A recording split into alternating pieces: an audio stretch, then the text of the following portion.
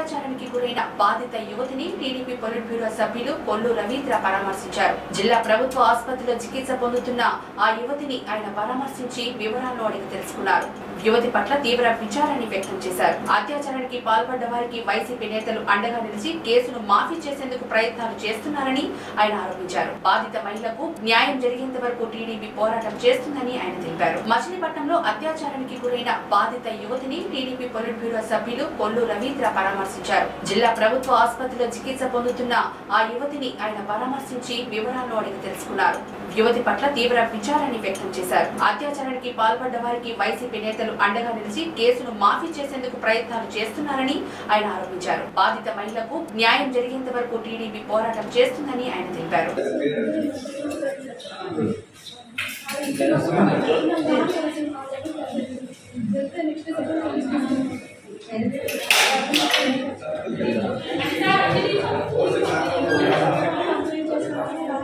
ったという。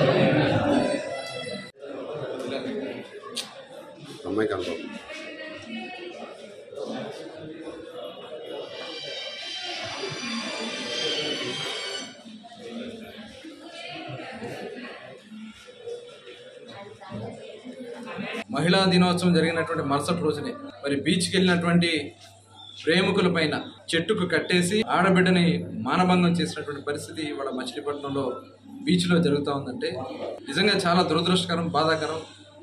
ఇవాళ అడుగడుగున ఆడబిడ్డలకి రక్షణ లేనటువంటి పరిస్థితి కనపడుతూ ఉంది.